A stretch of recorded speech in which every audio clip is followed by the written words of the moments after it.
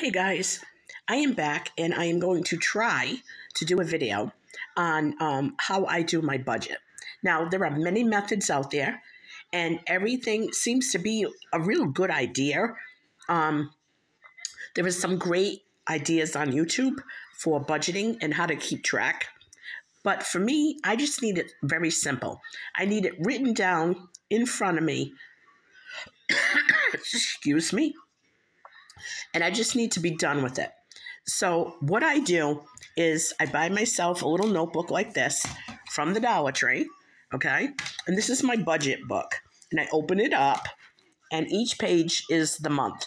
So, I put the month and the year, um, the income for that month, and then my bank balance. then I write down all my bills, the amount, um, and then I deduct that from the bank balance, and that's what I have left. So, whatever I have left, I divvy up into certain categories for certain things. Um, there are about three or four um, bills that come out automatically, and everything else,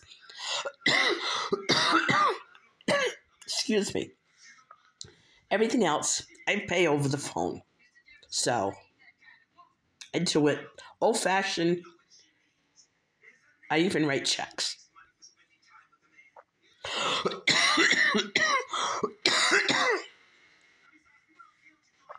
Sorry, guys, but